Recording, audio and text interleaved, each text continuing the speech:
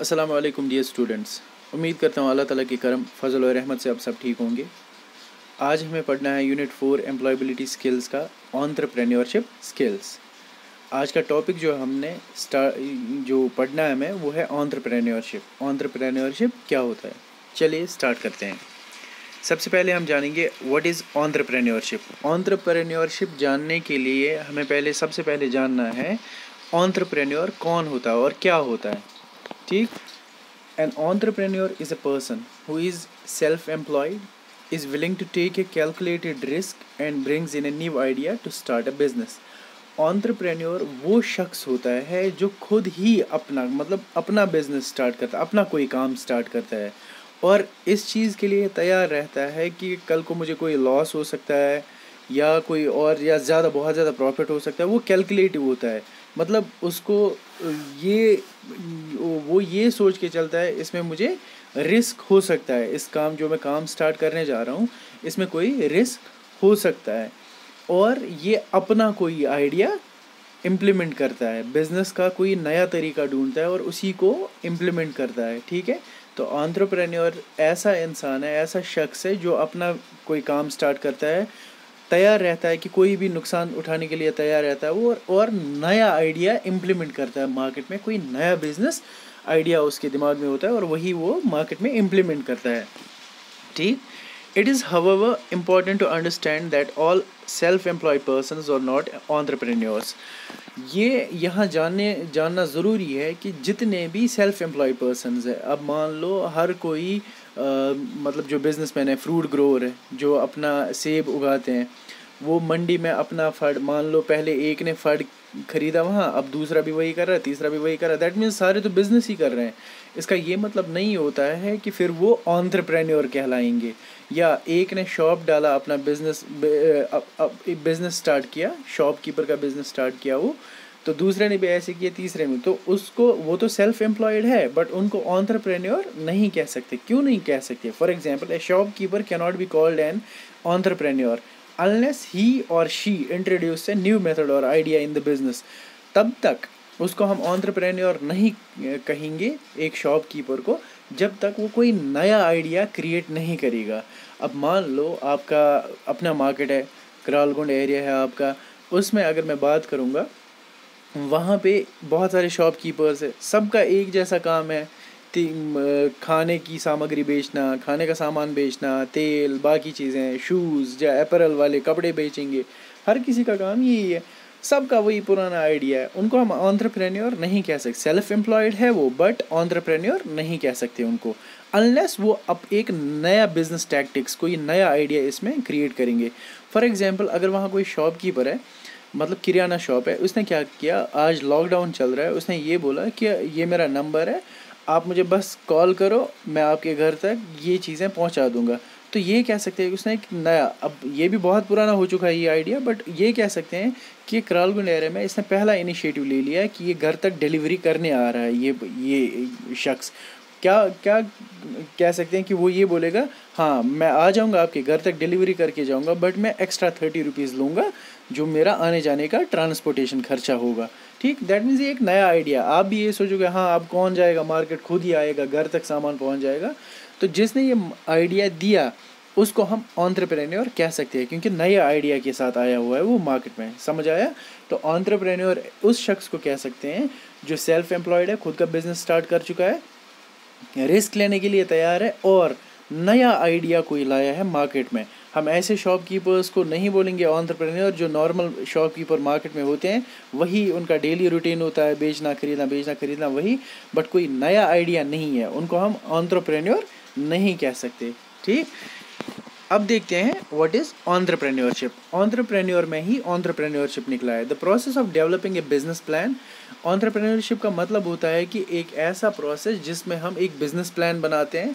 उस business plan को launch करते हैं कि मतलब उसको मार्केट में इम्प्लीमेंट करते हैं and running a business using innovation to meet customer needs और फिर हम उसी बिज़नेस को रन करते हैं मतलब नए तरीक़ों से, नए आइडियाज़ के साथ, ताकि हम कस्टमर की नीड को पहचान सके और उसको अपना प्रोडक्ट दे सकते हैं। And to make a profit is entrepreneurship तो उसी को ऑन्ट्रप्रेन्योरशिप बोलते हैं। ये समझ लो कि कोई भी बिज़नेस अगर हम स्टार्ट करते हैं तो हम इसीलिए बिज़नेस स्टार्ट करते हैं ताकि हमें फ़ायदा हो। Obviously last but not least हम यही चाहते हैं कि हमें फ़ायदा हो। कस्टमर बेस बढ़ जाए। कस्टमर बेस भी अगर बढ़ेगा तो किस लिए? क्योंकि हमें फ़ायदा होता है उस चीज़ के लिए। हर कोई बिज़नेस फ़ायदे के लिए होता है वैसी बात है। तो ऑन्टरप्रेन्योरशिप हम उस चीज़ को, उस प्रोसेस को बोलते हैं जिसमें हम एक बिज़नेस प्लान बनाते हैं, उस बिज़नेस प्लान को लॉन्च करते हैं मार्केट में और वो बिज़नेस फिर हम रन करते हैं नए नए आइडियाज़ के साथ ताकि कस्टमर की नीड जो है उसको पूरी कर सकें हम और उसके इन रिटर्न उसके मुआवजे में हमें क्या मिलेगा? प्रॉफिट उसको क्या बोलते हैं? ऑन्ट्रप्रेन्योरशिप ठीक है? तो ये टू एंड फ्रो प्रोसेस है।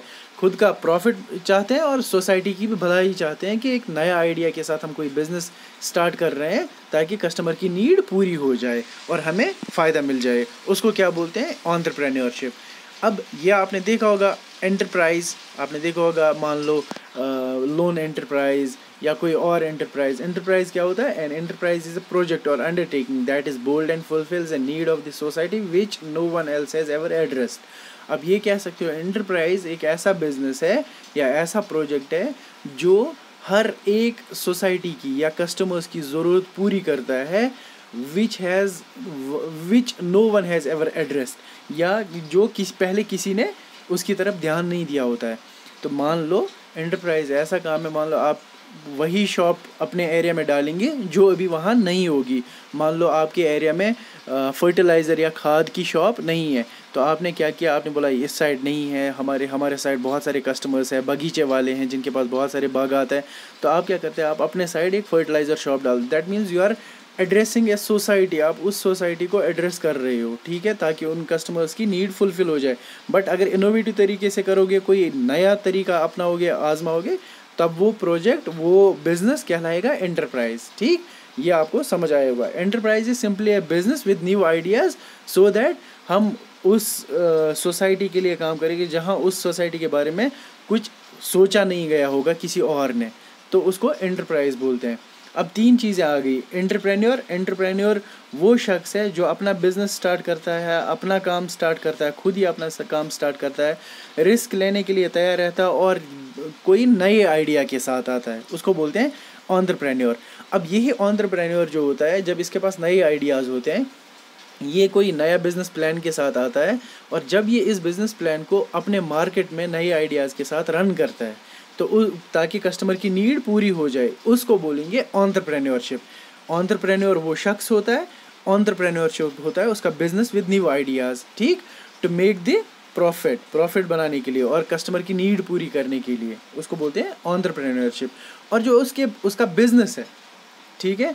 उसका बिज़नेस जो है, उसको आप ये बोल सकते हैं, ये एक इंटरप्राइज है. इंटरप्राइज है कि इसके पास एक बिज़नेस आइडिया था, इसने वो इम्प्लीमेंट किया ताकि कस्टमर कस्टमर्स की नीड को पूरी करे और जो किसी और ने पूरी करने की कोशिश नहीं की होती है पहले तो उसी को बोलेंगे हम एंटरप्राइज एक बिज़नेस ठीक है? उसको एक बिज़नेस बोलेंगे. ठीक प्रोबेबली ये समझ आया होगा, अगर कहीं शक रहेगा तो you can any time ask me any question ठीक?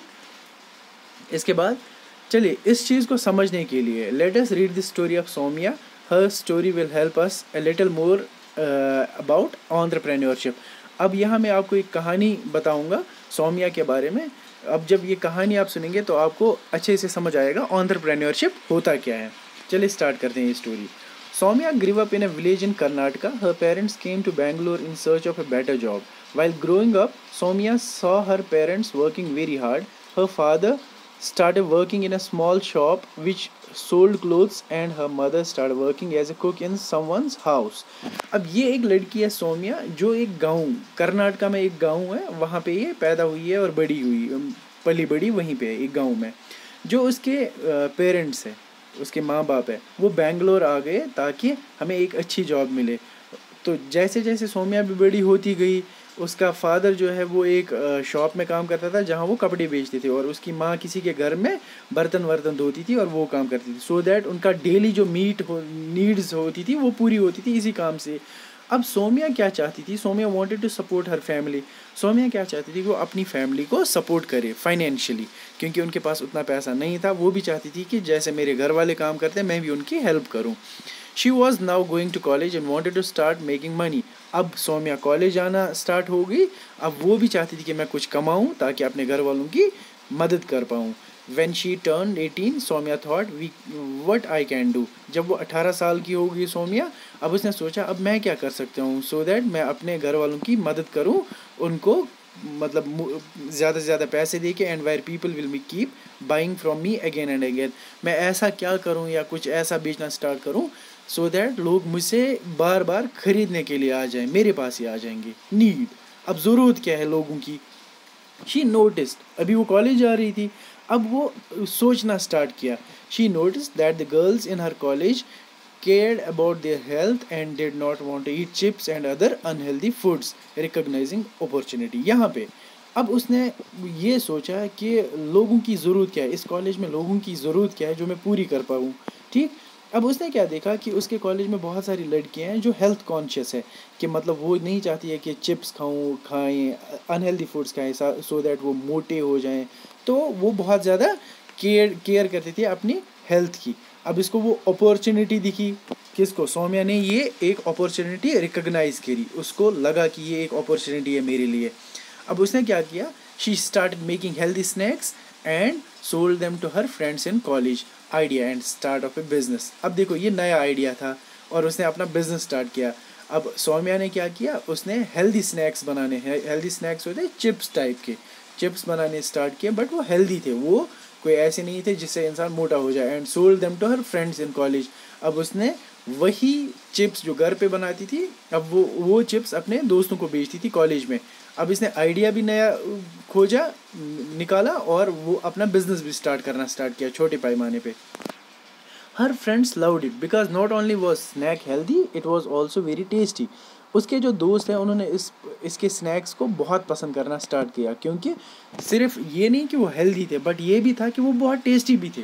She then started selling her tasty healthy snacks to people in her area अब उसने क्या किया? अब सिर्फ़ ये यहाँ तक महदूद नहीं रही। अब इसने सिर्फ़ अपने फ्रेंड्स को ये स्नैक्स बेचती थी। अब इसने अपने एरिया में भी ये स्नैक्स बेचना स्टार्ट किया। She As the demand for her snacks increased, Somya asked her parents and friends to give her some money to buy a small machine which would help her in making more snacks. अब जैसे जैसे इसका business थोड़ा बढ़ने लगा अब इसने क्या किया सोमिया ने इसने अपने दोस्तों से और अपने पेरेंट्स से थोड़े से पैसे उधार लिए सो दैट ये एक मशीन लाए और ये ज़्यादा से ज़्यादा स्नैक्स बनाएगी ठीक स्नैक्स चिप्स ये बनाना स्टार्ट करेगी। She start making five times the snacks अब ये पाँच गुना इसने स्नैक्स बनाना स्टार्ट अगर आज इसने मतलब एक किलो पहले बनाती थी, अपने दोस्तों को सेल करती थी, अब ये पाँच किलो बना रही है, ठीक? शी स्टार्टेड गिविंग एक small commission to her friends to sell the snacks in their own societies growing the business अब देखो, यहाँ पे इसने अपने बिज़नेस को ग्रो करना स्टार्ट किया। कैसे क्योंकि अब इसने ये स्नैक्स अपने दोस्तों को भी दिए और उनको बोला, अपने अपने एरियाज़ में बेचना स्टार्ट कर दो, ताकि मैं आपको फिर कमीशन दूँगी। जितना आप कमाओगे उस पर मैं आपको कुछ कमीशन दूँगी। अब इसका बिज़नेस बढ़ने लगा। After two years Soumya now sells her snacks in every small shop she continue studying while doing the business and was able to pay her college fees from her own earning अब दो साल के बाद सोमिया का जो ये snacks था, जो ये बनाना, इसने बनाया था, ये उस एरिया के हर एक शॉप में बिकने लगा।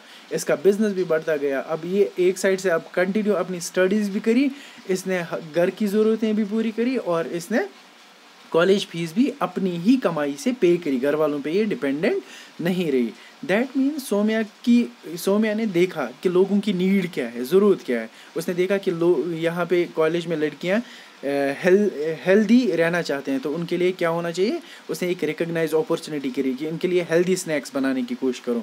तब जब उसने हेल्दी स्नैक्स बनाने की कोशिश उसने एक आइडिया स्टार्ट किया। आइडिया उसको मिला और एक बिज़नेस स्टार्ट किया। नया आइडिया था ये कोई। हमारे में कभी आइडिया आया ही कि ऐसा? नहीं आया होगा अभी। बट इसको आया, ये एक नया आइडिया था। दैट मीन्स नया आइडिया इसने बिज़नेस स्टार्ट किया तो ये ऑन्टरप्रेन्योर हो गई। ठीक? अब इसका ग्रो बिज़नेस भी बढ़ने लगा। इसने अपना खर्चा पूरे किए, इसने कॉलेज फ़ीस पे की, इसने घर वालों की ज़रूरतें पूरी करी। तो दैट मीन्स इसको बोलेंगे ऑन्ट्रप्रेन्योर ठीक? सोमिया इज़ एन ऑन्ट्रप्रेन्योर इसका जो बिज़नेस इसने लॉन्च किया लोगों में तो उसको बोलते हैं ऑन्ट्रप्रेन्योरशिप और जो इसने अपनी ऑर्गेनाइजेशन का नाम दिया होगा, उसको बोलेंगे एंटरप्राइज ठीक है? तो ये आप कहानी से आपको ये मोरल है समझ आया होगा।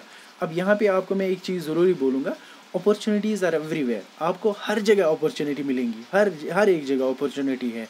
We need to look for them spot them हमें उनको देखने की ज़रूरत है। बस हमें बस नज़र की ज़रूरत है कि हमें किस जगह क्या स्टार्ट करना होगा।